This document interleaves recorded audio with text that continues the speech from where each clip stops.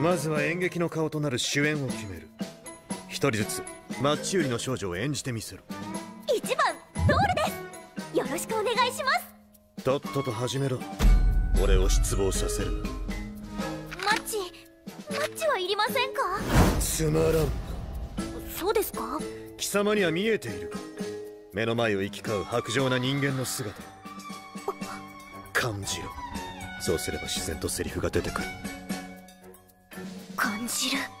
過剰で愚かな人間どもよ。我を無視するとはいい度胸だ。その罪は失格次だ2番エルマだ。よろしく頼む。マッチ。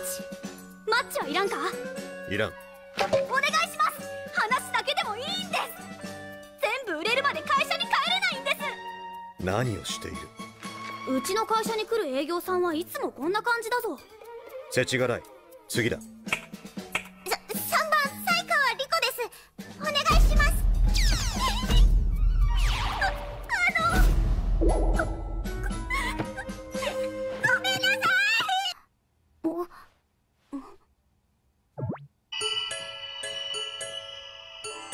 マッチ。マッチ。マッチを買え。